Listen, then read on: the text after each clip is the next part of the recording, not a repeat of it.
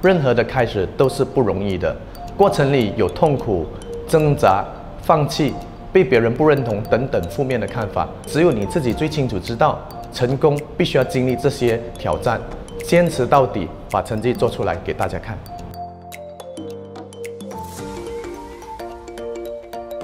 大家好，我是 Desmond Chan，我是 DCA Advisory 的 founder。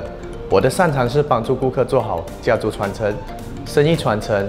企业上市和风险管理，我曾经犯过最大的错误就是没有独立思考，导致我很容易相信错的人。曾经也一度让我萌生想退出的想法，后来我告诉自己，其实我可以比自己想象中过得更好，因此我不能够放弃，所以今天才能够有这样今天的这个小小成就。DC Advisory 的成立是因为要和同业走不一样的路线，团队的成员大多数是来自前银行职员。也有来自 account 背景的，当然也有很多其他行业的一些的专才，所以我们是有信心是可以带领专业人士的团队。我从不提倡个人英雄主义，我只相信团队的合作。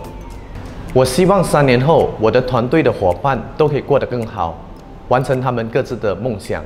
因为我永远相信一件事，就是他们好，我也会好。所以我是希望继续秉持以人为本的理念。同时，我也希望帮助他们成为公司的单位经理，帮助我分担更多公司重要的事项。